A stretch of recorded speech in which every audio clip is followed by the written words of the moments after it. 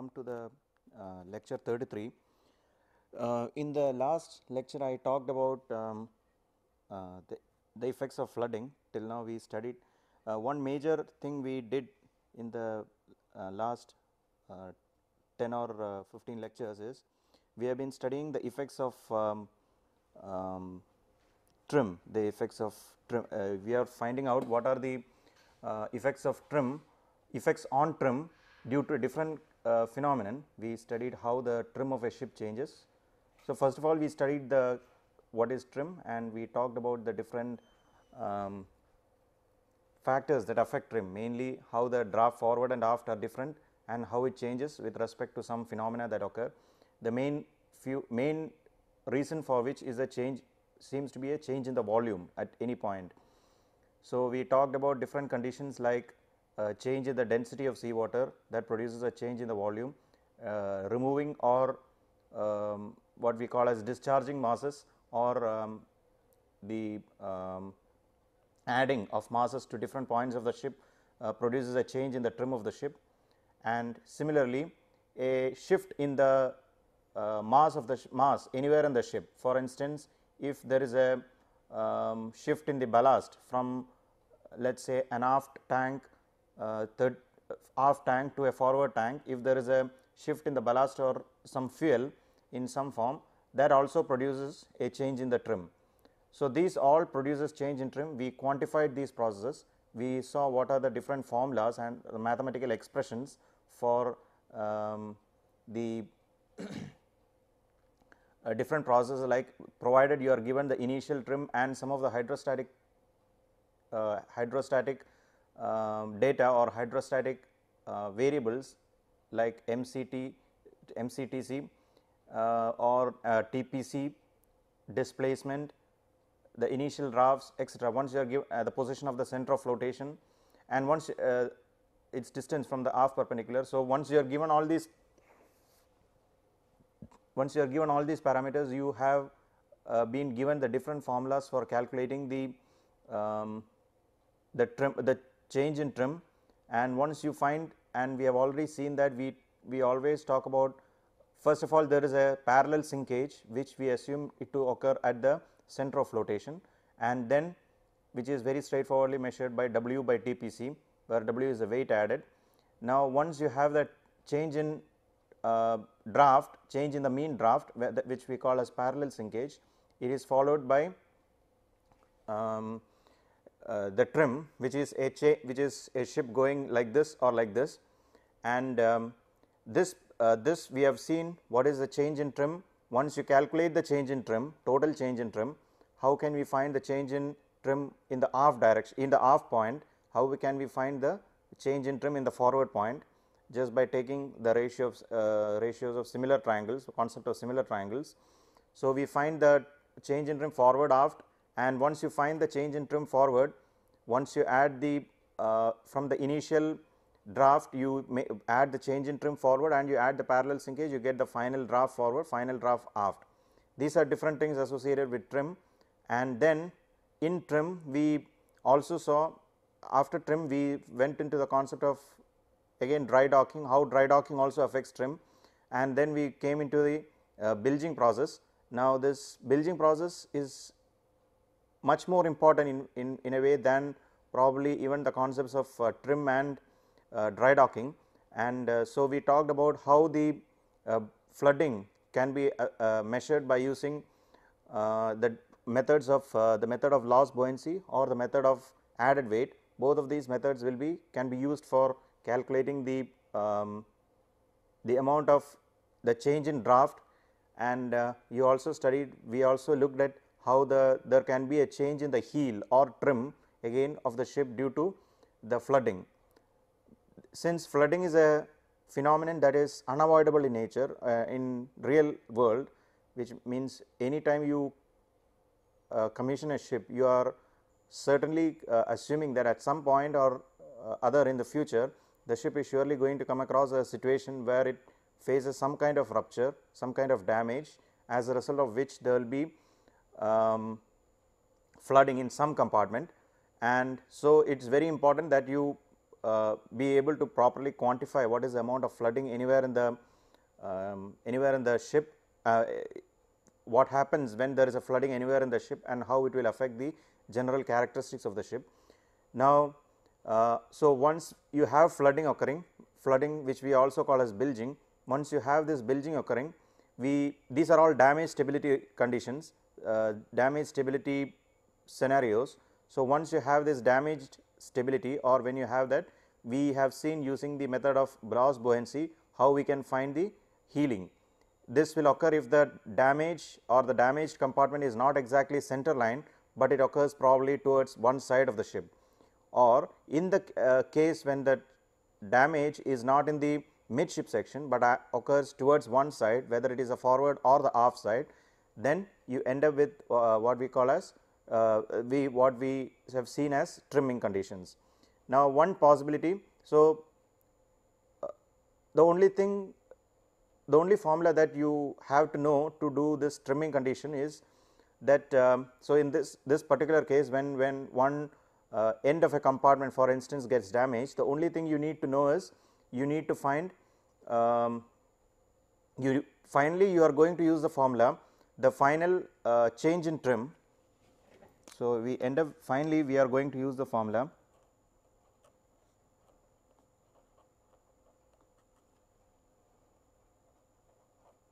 change in trim is equal to the moment causing trim divided by MCTC. Now, MCTC will be given the moment to change the trim by 1 centimeter that will be given and so the problem comes down to finding moment to moment that is causing the trim and in this case uh, if you if you if you remember the discussion in the last lecture we have shown that um,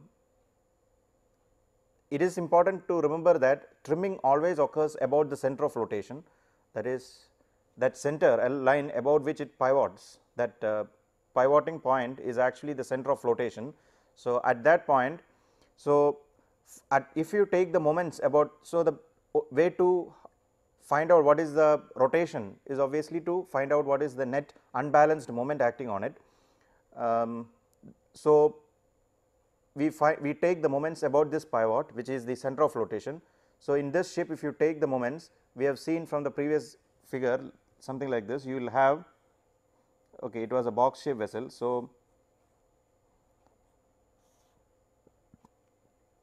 if you assume that the center of flotation is somewhere here if this is the length of the vessel whole length of the vessel and if you have the center of flotation here then um, the net weight is going to act here somewhere here which is at the center of gravity this weight is what is causing the um, moment. So, so the net moment causing the net moment is caused due to this weight which is W and therefore, the moment caused is W into the distance between the center of gravity and the center of flotation which in this case we can write as something like this distance we are talking about this distance this. So, W into this distance let us call it small l this small distance L divided by uh, MCTC will give you the change in trim, change in trim.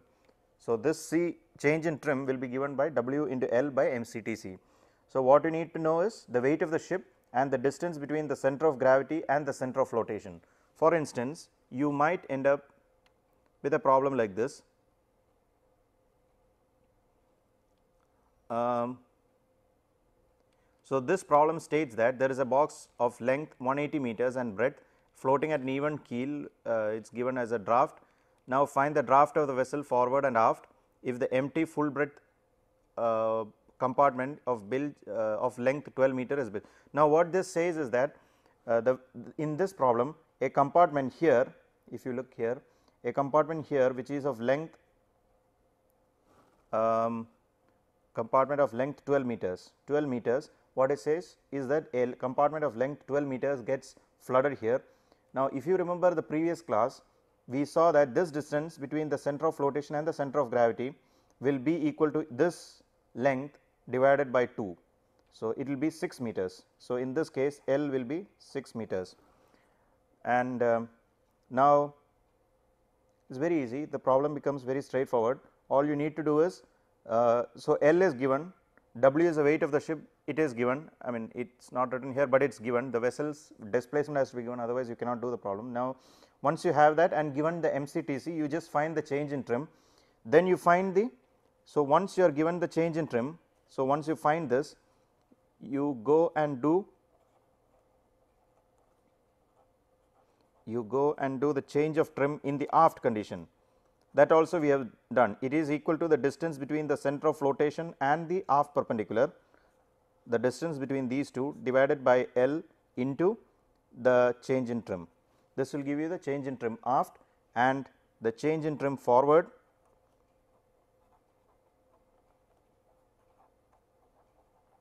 change of trim forward is the distance between the center of flotation and the forward perpendicular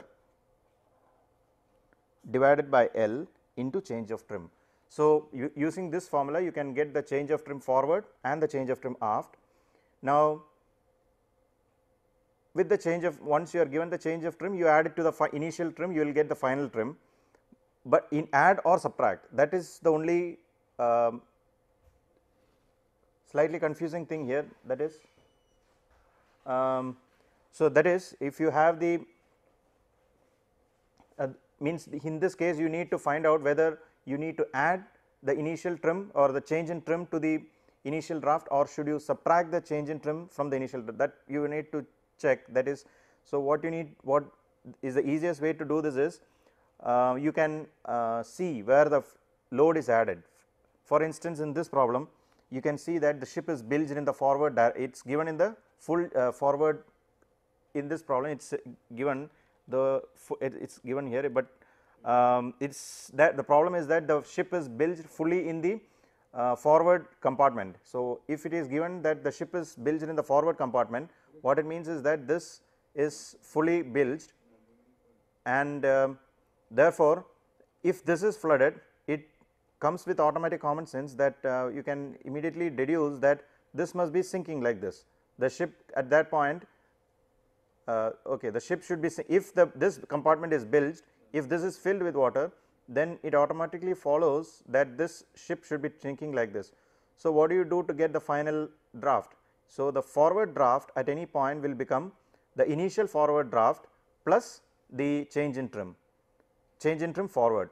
So, once you add these two you will get the uh, final draft forward. On the other hand how will you get the final draft aft? You have the initial draft aft, you have the change in trim from the uh, aft draft you subtract the final uh, you subtract the change in trim aft you will get the final draft aft.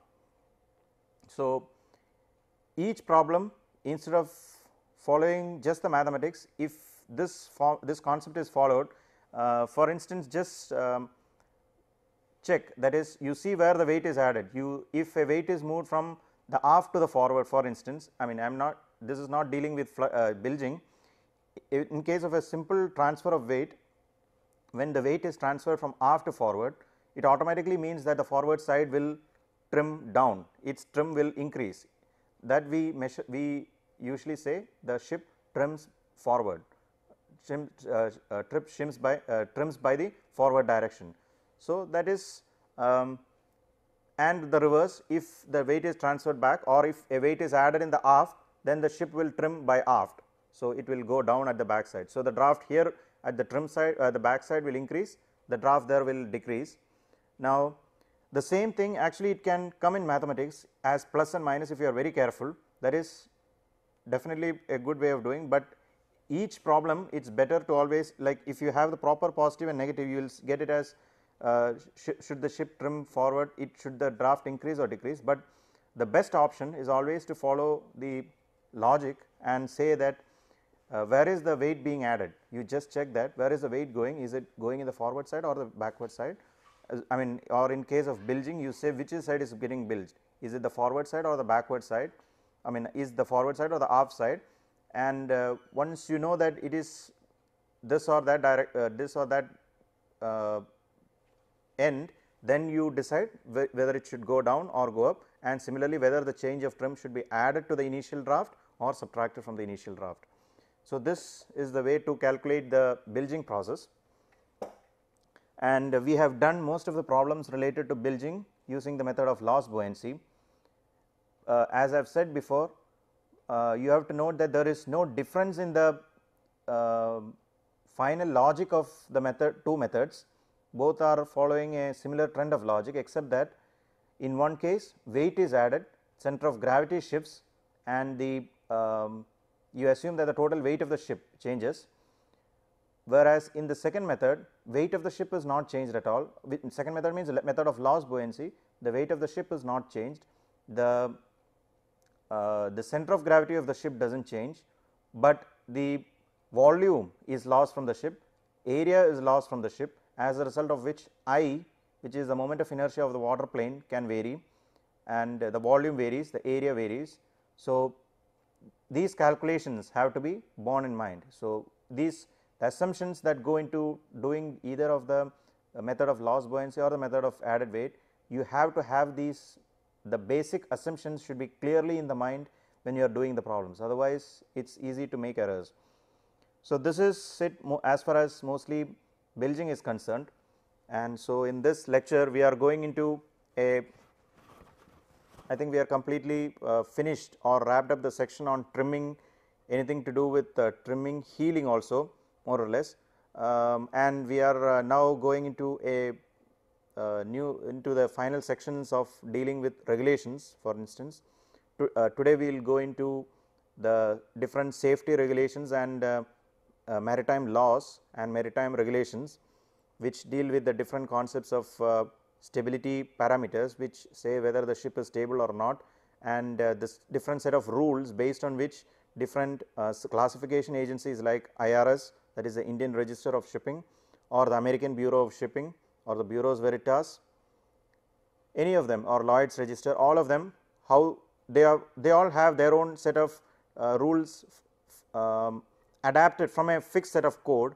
Now, first of all there are some uh, standard codes from which they have adapted their own rules and made it more detailed and more fine tuned to their situations and to their countries. For instance, like Indian Register of Shipping has rules specifically made for ships in India. It is more tailor made towards that to, towards that country. So, like that we have. So, what we will do today uh, we have completely wrapped up the other sections on in a way most of the uh, real theory part on uh, stability calculations which we usually call as the statical stability curves, the dynamical stability and uh, the different um, multipliers means Simpson's multiplier, trapezoidal multiplier and um, um, and then the different concepts of trim, heeling and all that is more or less wrapped up and uh, we have come to an end of that and rest of it is uh, more more towards uh, laws and regulations and um, of course, some more parameters on waves and some resonance. So, we will uh, that is the rest of the um, lectures on. So, today we will go into what we call as the safety regulations. Uh, some of the important regulations that are followed in different parts of the world. We will um, as I said before we have a fixed set of rules that are given by the IMO. Okay, let us go into that. Now, uh, the main organization that deals with um, uh, the law governing is known as the IMO which is known as the International Maritime Organization. So, I will just read this. Uh, the maritime organization was uh, adopted in Geneva in 1948. Now, these are the people who deal with so who deal with the legal matters, environmental concerns, uh, maritime security. They deal with even that, but their main work is to uh, uh, frame rules leading leading to the safety of ships this one safety this is their main thrust or area of work but they deal with all this environmental concerns which they what they mean by that is they call it as um, um, our purpose is to make a safe um, safe shipping in a, a, clean world in a clean uh, clean oceans they call it the clean oceans and uh, so uh, the different things they are dealing with mainly they deal with IMO the International Maritime Organization. Um, so, they deal with it is based in UK in um, somewhere in UK and um, uh, it's a part of the United Nations organization. It's a, a, branch of the United Nations. It's a council by itself, and they have about 159 or 160 um, member states, member countries right now, and these all of them come together, and all these engineers and uh, um, the engineers and scientists and the top um, uh, research people, they come together with the law making people or the uh, politicians, they come together to frame the laws to make uh, the um, to make the shipping safer and uh, more efficient. So, this uh, these are the, so we will be dealing with the uh, set of the framework of rules that are um, fabricated by the IMO and mainly it is the rules are initially fabricated by IMO and they have been adapted by different navies mainly the US Navy is I mean US Navy, the UK Navy or the German Navy. Um, of course, these are the three main since these are the three main uh, three most powerful one of one of the three most power, powerful countries we will deal with some of the rules associated with them and we will see how the different criterion or the different problems that are faced by the shipping uh, shipping industry as such these people how do they tackle it? How uh, as you will see most of the rules are very similar. There are no differences. There are not much differences, but um, slightly adapted for their country and for different slightly different situations and it is that just some differences in the way of approach. Now, usually they uh, usually the ships are classified into many different types you will see that uh, in general naval architecture we call them as cargo ships, container ships, tankers, um, passenger ferry, then different types of um, um, like fishing vessels or you will have tugs, then you will have uh, mobile offshore drilling units and you can have um, uh, what we call as dynamically supported crafts DSC that is um, one special class, special class of uh, crafts, crafts on its own. They are some kind of unconventional crafts, uh, the others are all what we call as conventional crafts. Now, there are a the rules we have already seen some of the rules associated with ships, we have already seen some of the basic rules that uh, are followed um, in the um, in the in the few lectures in the middle we talked about the different rules associated with um, car uh, with the car or ore carriers. We saw how the ore carriers have their own rules and what are the conditions that are um, that are important in dealing with these uh, safety of these ore carriers. We said grains, grains and ores, it, it was actually grains. So, grains and ores follow the same principle. So, grains and ores they have a fixed set of rules on their own we have seen what are the rules associated, how is the uh, how the um, how the shipping industry deals with the concept of wind wind stability or the uh, the resistance to wind or uh, how the how the um, how the industry adapts uh, how the industry um, meets this criteria how it how the what are the conditions that the ships have to satisfy in order to satisfy the wind criterion we have already seen how we took one distance as if you remember as a there was a heeling arm developed as lambda 0 and we drew another heeling arm at 1.5 lambda 0 and uh, we did some calculations similar to that. If you and it is very important to remember that all these calculations all the latest stability rules are based on the concepts of dynamic similarity and dynamic similarity again as we have already discussed many times is to do with the area under the GZ curve. GZ curve we have already drawn, it is very similar, it is very common, it is very must be very, um, you must be very familiar with that by now. GZ represents the righting arm and uh, it is a curve between the GZ which is the righting arm and phi the heel angle. So, GZ phi curve is what we call as a statical stability curve and uh, if you do delta into GZ, delta is the displacement of the ship. So, a curve between delta into GZ and phi the area under the curve is what we call as dynamic, uh, dynamic stability. Now, dynamic the all the stability criterion are stability criterion dealing with dynamic stability. We the importance of that was discussed many times, I will mention it again. The importance is that dynamic stability actually represents the energy in that condition. Now, delta is uh, a weight and um, um, or it is a force into g z that is a distance moved. So, it is like work done or energy content. So, it is the energy content and so what are we assuming when some energy some form of energy is coming into the system some form of perturbation what we call as perturbation perturbation to the stability some kind of um, um, some kind of uh, force or some kind of phenomenon that is acting to remove the stability of the system some kind of energy is input into the system to remove the stability.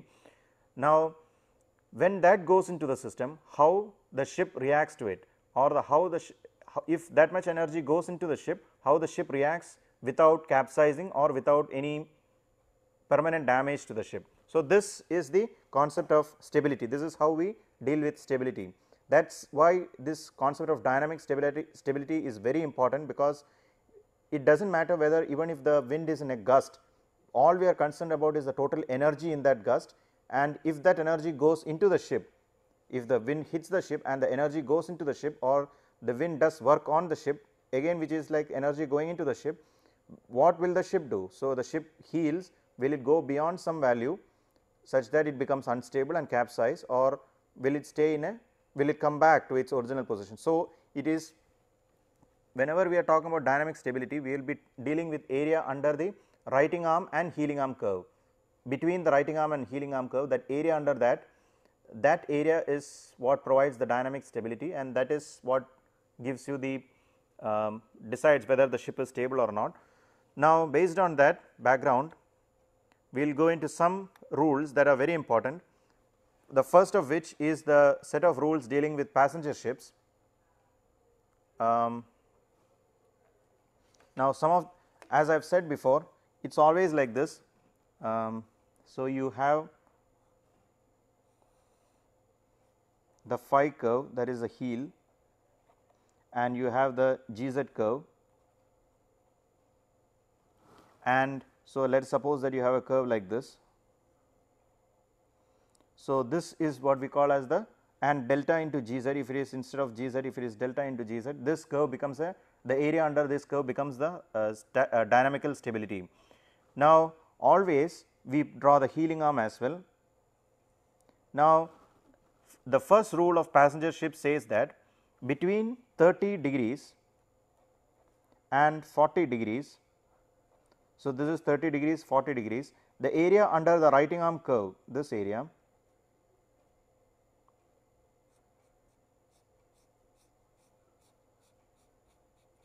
this area should never be less than it should not be less than this is I will write it here it is called dynamic stability it should never be less than that means it should be greater than uh, 0.055 meter radians.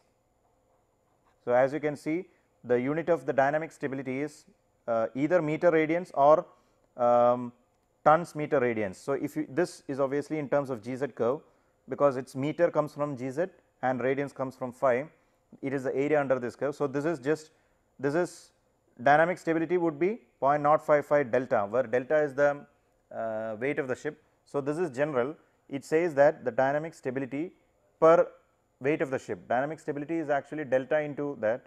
So, this the it says that the area. So, we cannot say exactly dynamic stability, but the area under the GZ curve this area which is between 30 degrees and 40 degrees should never be less than 0.055 meter radians that is the first rule associated with uh, the passenger ships. Uh, sorry, um, sorry, it is not like that. Uh, the, a, this area, the area this area, sorry, slow. I made a small mistake here. Uh, the area up to uh, 30 degrees, um, area up to 30 degrees should not be less than 0.055 meter radians and area up to 40 degrees should not be less than 0.09 radians meter radians and this is the rule and um, between 30 and 40 this area between 30 and 40 this area should not be less than point uh, meter radians. So, the rule says that So, the clearly the uh, the the, the rule for this is the IMO rule from for uh, uh, passenger vessels. It, so, the rule is that between the uh, angle of 0 degree and he, when it heels between 0 to 30 degrees within that angle of heel uh, that righting arm curve should be such that the area under the righting arm area under the GZ phi curve should be greater than 0.03 meter radians up to 30 degrees and between as and from 0 to if it heels up to 40 degrees between 0 to 40 degrees it should be uh, at least 0.09 meter radians and also between um, 30 and 40 also it is important that there be at least a margin of 0.03 meter radians. So, this is the um, these are some of the this is very important as far as rules this in fact is the backbone from which all the different rules associated with dynamical stability for different. Um, so, the different dynamical stability for uh, different types of ships modify from this this is where it starts from. So, it is also important that the um, the metacentric height GM 0 any GM 0 is the metacentric height of the ship you know that it has nothing to do with the angle of heel it is 0 it is in the intact condition. So, GM 0 should always be uh, greater than 0.15 meter radian 0.15 meter. So, this is the uh, metacentric height. So, the rule says that the metacentric height of the ship should always be greater than uh, 0.15 meter. Now, as we have already discussed when you keep increasing the metacentric height um, because this is an important thing we have already discussed one thing that definitely should go home you should take home with you after the end of the whole course that is that the stability of the ship is in general measured by its metacentric height. And when you say that the metacentric height is large you are in generally saying that the ship is stable more stable. And so we have said that uh, and the moment metacentric height becomes negative uh, that is a case when g or the metacenter m goes below g you say that the ship has become unstable.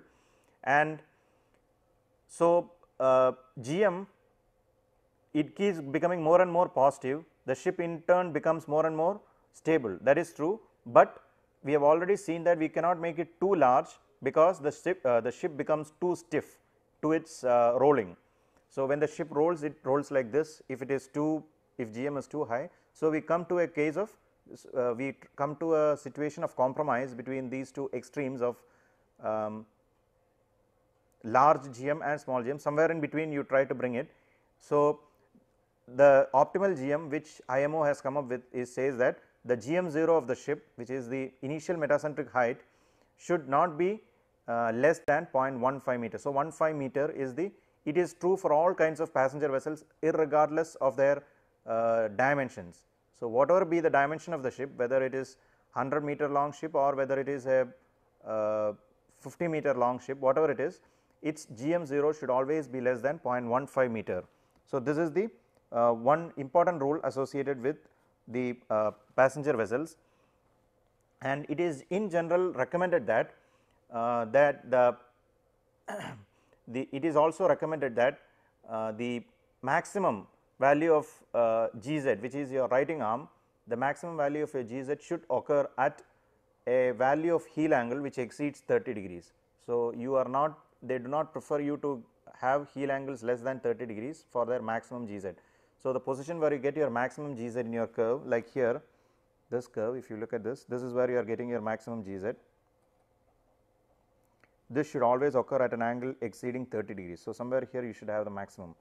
So, this these are some of the basic rules from which all the series of regulations associated with the different kinds of vessels cargo, container or everything of course, modified for that particular case, but this is the basic structure from which it is these rules I think you should definitely uh, keep it in memory and definitely keep it by hearted. It is it is something that is definitely important uh, as a result of this course you should know this. Okay. Now, so once you have this basic set of rules, uh, these are rules associated with uh, the um, the IMO that is a maritime organization. Once you have these rules there have been of uh, of course, it is these rules are framed mostly by and by uh, the 150 organizations that go together to comprise the IMO in which it is a fact that most of the uh, work is done by US, UK, Germany and a few of the western nations they are mostly instrumental in developing all these codes. Now, so they they have slightly sometimes slightly modified versions of this IMO codes. So, we will look at some of these important important navies which have their own set of codes they have developed their own set of codes. So, the US Navy for instance have a couple of rules mainly um, there are of course, the, it, the whole uh, book dealing with these regulations maritime regulations is vast there is many it deals with ballast it deals with environmental concerns it deals with passenger safety it deals with fire the lighting of uh, possibilities of fire uh, eruption everything it deals with everything but we in this course are in since we are a course uh, this course is devoted to uh, st stability concepts hydrostatics and stability. So, we will we will say that we will focus on those aspects of the code stability codes. So, like we did with the dynamic stability we showed the uh, we showed the uh, the rules associated with that. So, we will deal with the stability concepts associated with wind heeling we have already given in some previous lecture we have already told I have already described how the the whole set of calculations is done I will just mention here the different laws associated with it. So, you have wind heeling is a possibility and you can have a heeling due to turning means when the ship tries to turn it can end up with a heeling that is a heeling possible. Uh, and uh, whenever you have cargo handling, cargo handling means you shift a cargo from one point of the ship to another either from the port to starboard side or from the forward to the aft side whatever kind of transfer it is it will produce its own heeling. So, a heeling moment is generated due to the transfer of cargo does not have to be cargo it can be the passenger as well. So, the transfer of passenger also uh, produces such a heeling. So, these are the different so, these are the different types of uh, heeling moments possible and uh, each of these navies in fact have their own laws or rules associated with how to handle these kind of problems. And the basic rule for wind we have already given, I have already explained to you how the wind is done, how I explained that lambda 0, 1.5 lambda 0 and uh, how we assume that the whole energy has gone into the ship and how long the ship will continue heeling with that energy input into the ship, how long, how much further will it heel like that already discussed. And turning I have mentioned the basic formula of turning heeling also and um, some passenger heeling we will take a look at now. Now, for turning if you I mean I, I mentioned this already, but what happens in the case of turning is um, so uh, in case of turning what really happens is that you have um, a force acting and you have a uh, moment caused due to it. So, what happens is that when the ship tries to turn in the uh, in its centroid exactly at the point of its kg you will have a centrifugal force acting on it. The centrifugal force is given by you know m v square by r delta v square by r where r is the radius of turning. So, um, so this will give you the the moment that is acting to turn the ship this gives you the force that is acting on the ship that is the centrifugal force. Now, how do we find the moment? So, once the ship is trying to turn, so this centrifugal force causes the ship to it acts on the center of gravity and causes the ship, ship to shift in fact. So, the water in fact provides a reaction from the the water provides a reaction it tends to cancel the effect of this centrifugal force. So, the centrifugal force and the reaction from the water will cancel each other out and uh, the ship in fact does not uh, really slide or uh, shift in that fashion.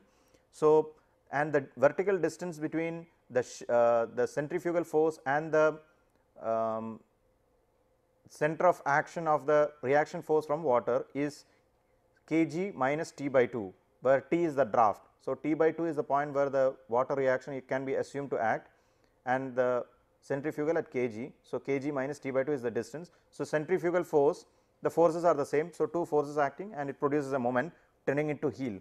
So, this is the uh, so V 0 squared by r into kg minus t by 2 roughly gives you the um, the net moment acting to turn the ship. Now, we can do some instead of putting the velocity of turning you can convert it by some uh, shipping uh, you have some shipping statistics you can say how you can convert it to V 0 which is the forward velocity of the ship L is the length of the ship into 0.02 it is just some ship statistics. So, it has nothing to do with physics as such. So, this will give you the regular this is give you the momentum uh, the moment produced moment trying to turn the ship this is m t. Now, of course, this moment is provided by the rudder in turning the ship. So, the rudder provides that moment and the ship turns. Now, the rule the rule associated with this is that this. Now, it is very important that um, the angle of heel does not exceed 15 degrees. So, we say that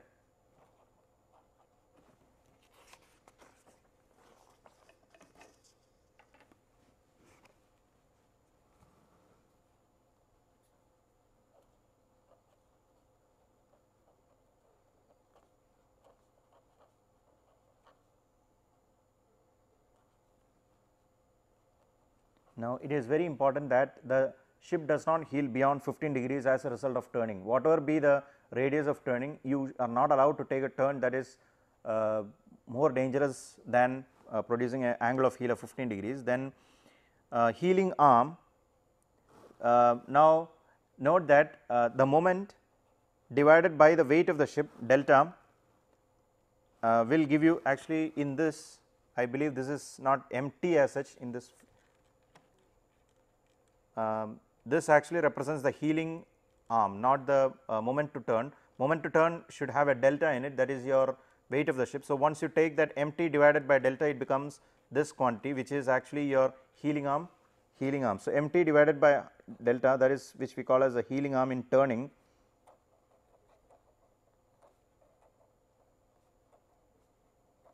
So, the heeling arm in turning should be uh, less than 0.6 so, the heeling arm in turning um, 6 meters 0.6 meters. So, heeling arm in turning should be less than 0.6 meters. So, these are two important rules associated with the uh, moment uh, with the turning then um, there are some forms of rules associated with what we call as dynamically supported crafts. Now, since most of you are not familiar or not very familiar with naval architecture as such, um, dynamically supported crafts are crafts that have uh, some other form of support rather than just the buoyancy force. You know that in case of ships, uh, ordinary ships or conventional crafts which we talk about like uh, of any kind of uh, container ship or cargo ship, tanker or any boat, the weight of the ship, the weight of the boat or ship is balanced by the buoyancy force from the uh, water. So, this is the Archimedes principle the weights balance the weight of the ship is balanced by the buoyancy force. So, this is the basis on which ships float ordinary conventional ships float it is the Archimedes principle upon which it floats. Now, it and uh, it is possible that there are some other ways of um, actually balancing the weight of the ship rather than um, rather than just a just the buoyancy force. For instance, you can put different kinds of hydrofoils. In fact, in the next lecture, I will give you some pictures of hydrofoils, hydrofoil boats. Uh, these are kinds of boats which have hydrofoil is the hydrodynamic equivalent of an aerofoil. So, those who have familiarity with some aerofoil concept aer aerodynamics concept you have will be familiar with what is known as an aerofoil uh, especially for those who have done some hydrodynamics or aerodynamics you will know what is an aerofoil. So, there, is, there are flows over aerofoils. It can produce lift. You will if you deal with if you study that a little bit you will see that there are different ways in which flow over an aerofoil can produce lift. It is due to uh, just quickly I will mention it. That is this represents if this represents this is a basic structure of an aerofoil and a hydrofoil is very similar in shape. So, we can say that this is a hydrofoil. So, this is the shape if you call this to be the shape of a hydrofoil what will happen is that you bring an air like this, uh, if the air stream comes like this. So, this is a structure which remains like this and some air comes like this or in our case we are talking about hydrofoils, we deal with water. When water comes like this, uh, when it will come at some angle which is known as an angle of attack and this will produce because of the air which flows over the hydrofoil and below the air or water which flows above the hydrofoil or below the hydrofoil. Uh, this fluid because of the difference in velocities of the fluid differential pressure is created here and here. So, this region will end up with a higher pressure uh, sorry lower pressure sorry this is minus and this is plus. Lower pressure. And this region ends up with a higher pressure. And um, so this is a negative pressure and this is a positive pressure which we call as and this side we usually end up calling it as the pressure side. And this is known as a suction side or the face and back whatever you call it and one side is at a higher pressure one side is at a lower pressure you know that when there is a when any system exists in a continuum such that there is one side higher pressure and one side lower pressure there is a tendency for a force to act from the region of high pressure to a region of low pressure. So, in this case there will be a tendency for a force to act like this. So, from this high pressure to low pressure force will act this force we call it as a lift force. So, this concept of lift force um, so, this concept of a lift force comes into play in the case of a hydrofoil craft.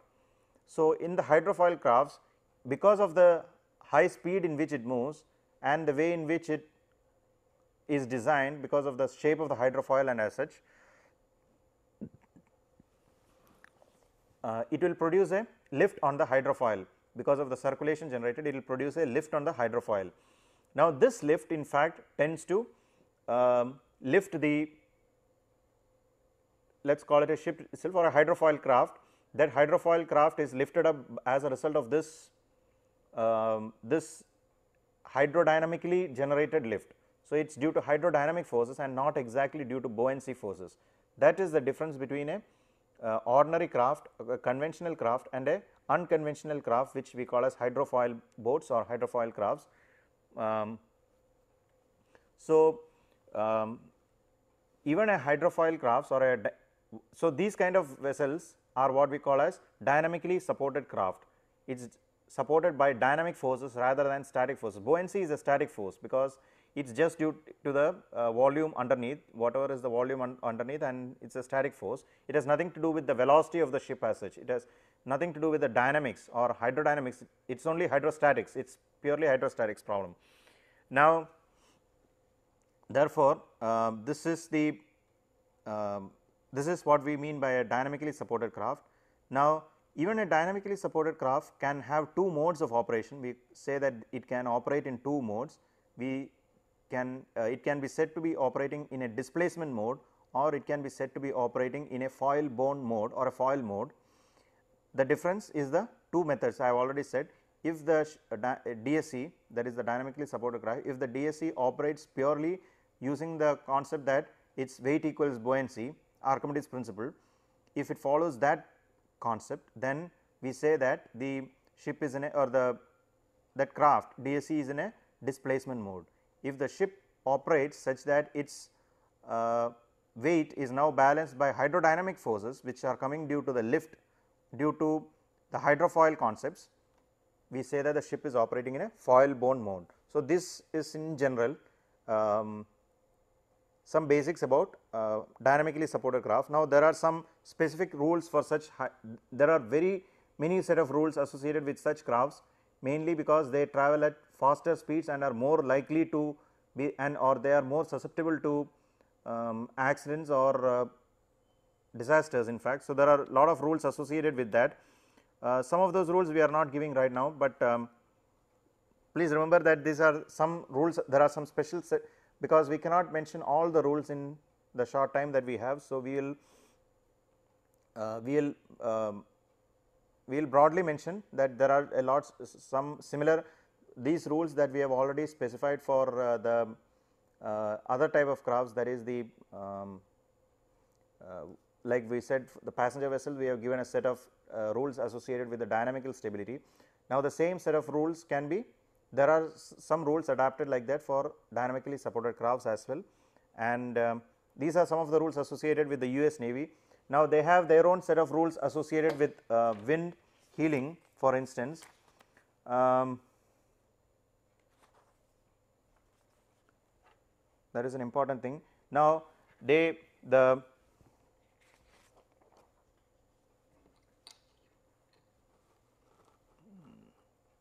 no I think I will go back to this. Now, the U US Navy they also have their own set of rules associated with the uh, wind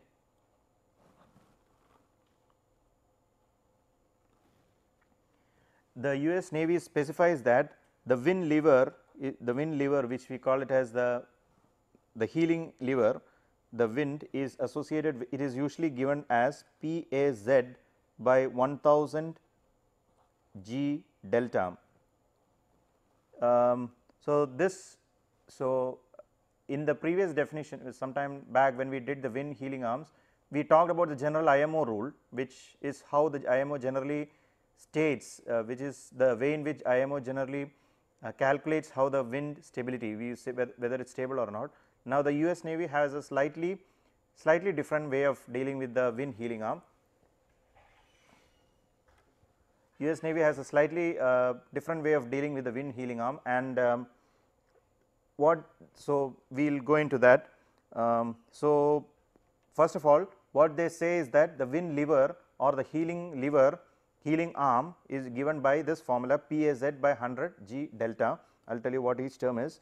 P is a is usually defined as a wind stress and it is given a constant value of 540 Newton per meter. The meaning of this is this is something like a very high value which is the maximum for instance that the ship can experience in the most uh, violent weathers usually the most violent weathers come in regions of North Atlantic and in the Baltic Sea somewhere in those regions you have the most fierce winds and most powerful winds which produce the most um, dangerous conditions. So, we say that P we assume in this P is assumed to be about 540 Newton per meter square this is the wind stress. Then A is a particular is a characteristic of the ship it is the windage area it which means the area in the ship which is exposed to wind there is it is not just the total area it is not important it is the projected area. So, if the ship is like this and let us assume that some region of it is above the water and if wind acts like this wind acts from this direction it comes here this area which is above which is projected onto this plane. So, this area this area does not matter it is only this area that matters project this area into this plane you get the uh, area. So, that is known as A that is the windage area. Then um, Z is the distance between the centroid. Uh, so, if you have the windage area here the centroid of that windage area to the uh, T by 2 you know T by 2 means again the concept is this the wind acts at the centroid of the windage area can be assumed to act at the centroid of the windage area. The reaction from the water here can be assumed to act at the T by 2 half the draft means the total force is acting over the whole draft and the, if the force is constant that force can be assumed to be acting at the centroid which is at T by 2. So, the distance between uh, this centroid of the windage area and the and T by 2 that distance is Z. So, Z is that distance g is the uh, g is the acceleration due to gravity and delta is the displacement displacement of the ship. So, once you have this you end up with the wind lever. So, you get the wind lever and there are now a couple of formulas which give you what are the stability criteria and how the role of the ship is calculated as a function of this lever that uh, since we are out of time now we will continue with that in the next lecture. So, we will stop with that today. Thank you.